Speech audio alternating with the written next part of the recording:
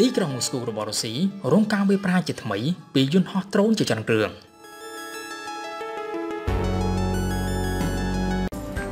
កម្មវិធីគ្រប់គ្រងអាជីវកម្មបែប Digital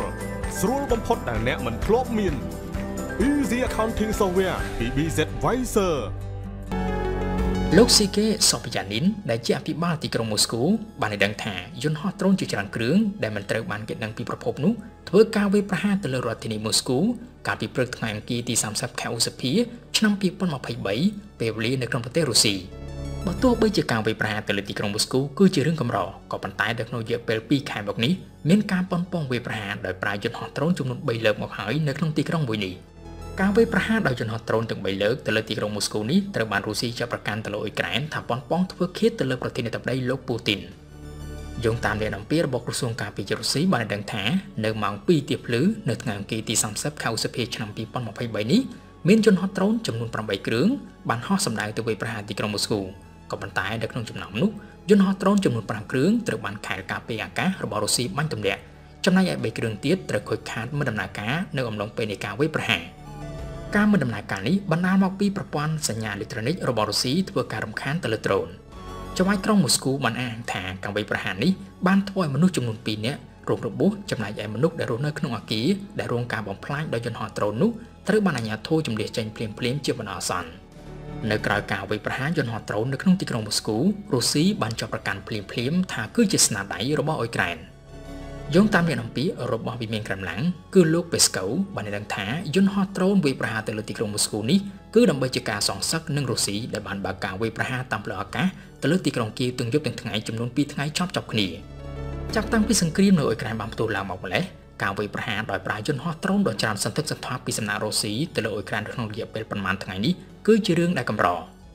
យោងតាមការឲ្យដឹងពីក្រសួងការពារជាតិអ៊ុយក្រែននៅថ្ងៃអង្គារក្នុងសប្តាហ៍នេះរុស្ស៊ីបានបញ្ជូនយន្តហោះដ្រូនដែលផលិតឡើងដោយស្នាដៃអ៊ីរ៉ង់ចំនួនដល់ទៅ31គ្រឿងទៅធ្វើការវាយប្រហារទីក្រុងគៀវ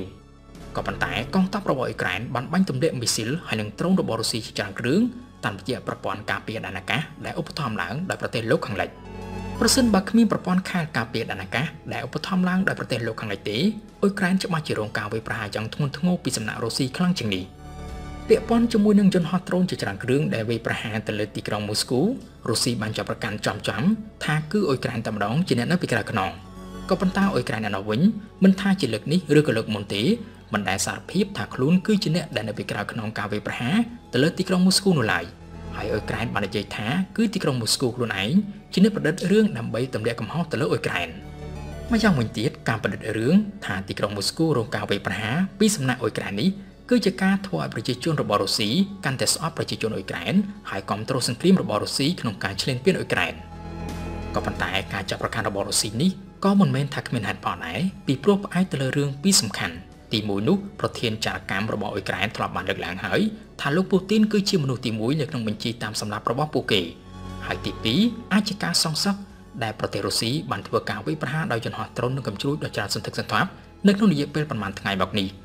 គេបានមើលឃើញថាអ៊ុយក្រែនទំនងជាចង់ឲ្យប្រជាជនរុស្ស៊ីយល់ថាការស្ថិតនៅក្នុងស្ថានភាពដែលរងការវាយប្រហារពួកគេមានការផិតភ័យបែបណាពីព្រោះថារុស្ស៊ីបានធ្វើការវាយប្រហារទៅលើទីក្រុងគៀវ ដែលធ្វើឲ្យប្រជាជនអ៊ុយក្រែនត្រូវរស់នៅក្នុងការភ័យខ្លាចគ្រប់ពេលវេលាជាក្បាលនឹង software ដែលហួសសម័យរបស់អ្នកដល់ពេលណាទៀត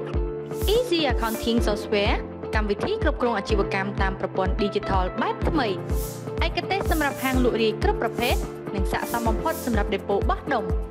ទំនាក់ទំនងមក Biz Advisor នៅពេលនេះដើម្បីទទួលបានព័ត៌មានលម្អិត។